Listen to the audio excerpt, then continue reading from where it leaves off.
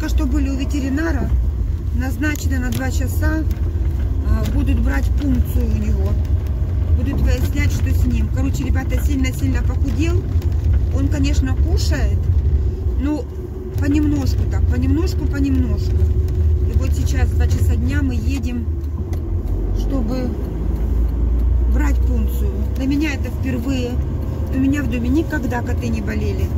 Это вот, когда я приехала с Египта, уже больше месяца, полтора месяца, вот это он столько, ну не, не совсем сразу, он интенсивно погулял с кошечками, потом начал покашливать, потом был вяленький, и вот сейчас ему совсем-совсем хреновато.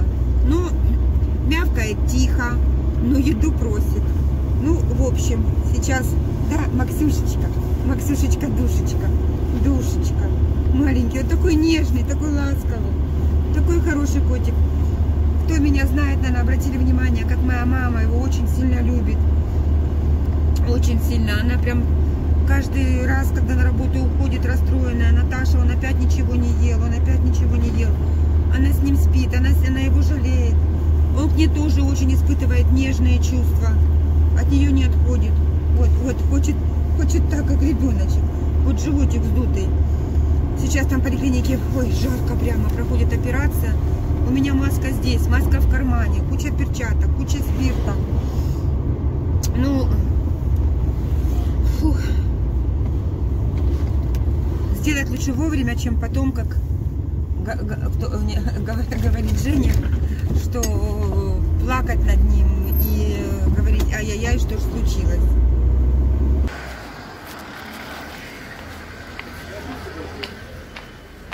Это выйду. Да, да, да. Здравствуйте. Можно с кошечкой? Максюша, Максюша, Максюша.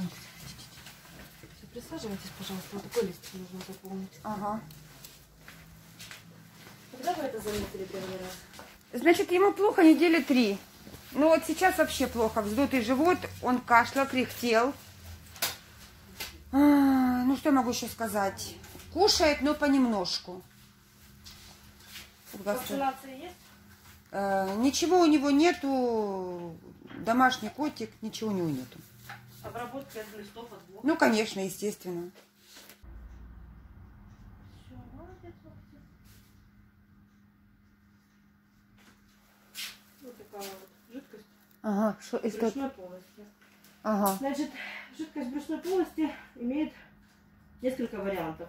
То есть, либо это асцит из-за патологии печени, либо же это есть у котов инфекционная такая болезнь, называется вирусный перитонит. Она неизлечима.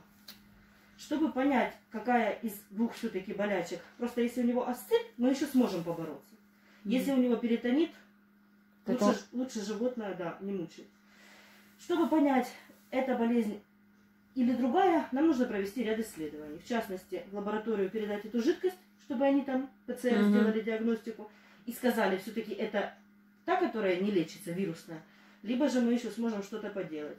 И сдать анализ крови общий биохимический, чтобы посмотреть вообще, как себя организм при вот этом, при всем чувствует.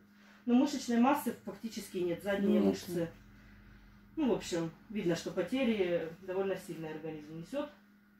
Так, что мне сейчас делать с ним? Значит, смотрите, вот эту вот жидкость нужно, ну, мы передаем на анализ в лабораторию, мгм. и если вы даете согласие, мы сейчас берем кровь из вены на общий биохимический Да, анализ. сколько денежек это будет стоить? Я знала сейчас. На общий и на био- биохимический. Это он укакался, да? Где? Нет, это Не, а.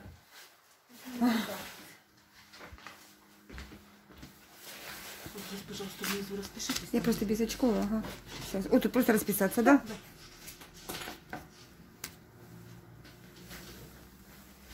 Мой дорогесенький. Бабушкин любимый котик. Если это асцит, то еще как-то будем. Угу. А если все-таки подтвердится, что это вирусное, то Перитонит вирусный, да? То все, да? Да. И сколько осталось, если что?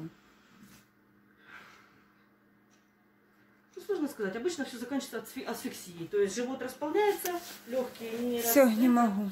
Поэтому в данном случае, если все-таки подтвердится, самое лучшее это эвтаназия. Это просто уснуть Мгм. и. Угу. ну опять-таки, это все пока догадки, это все нужно подтверждать. Угу. Фу, ну что, мы вышли, короче говоря, сделали нам пункцию, взяли жидкость на анализ, отдали мы 930 гривен ровно. Получается, что если инфекционный перитонит, то это все, сказали все. Котик обречен. Э, В пятницу будет готов анализ. Если это какой-то акцит, акцит, я, честно, не- сейчас волнуюсь немного, то 50 на 50 поборемся. Короче, инфекцию мог он подхватить от кошечки или в драке. И самое, что интересное, это не лечится. Теперь надо как-то маме моей сказать, что 50 на 50. Короче, будем ждать, ребята, пятницы. Я расстроилась. Ну, он хорошо себя вел. Я там, я там снимала, не знаю, видно, не видно. Ну, золотенький. Так что никакие не глисты, ничего, а заработанная в боях. И еще сказали, никакой улицы, сидеть только в доме. Кушать, писи-каки, все в доме. Песочек, лоточек. И до свидания. А если нет, автоназия. Ну, это я за это даже не хочу говорить и думать. Надеюсь, все-таки, может, действительно все будет нормально. Вот так, час от часу не легче. Целый день потратил, еще ничего не готовила кушать, ничего. Розочка с тюрьмы вышла, бегает, все с ней хорошо. Все у нее позажило, зажило, как на собаке. А Максим сильно похудел, конечно, одни косточки. Сказали, что видно, что теряет мышечную массу.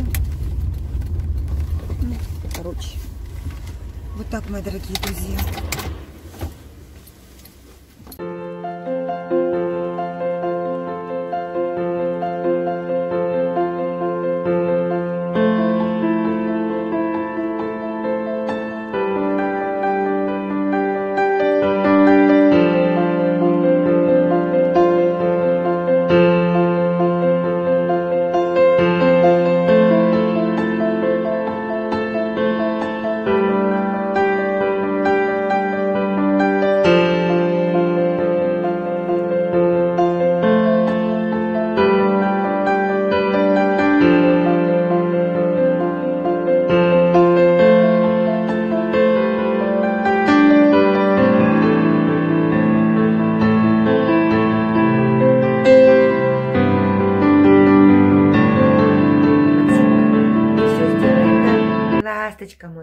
Мой, Максимilianчик, заинька, заинька, мы тебя никому не отдадим, я тебя вытяну все равно.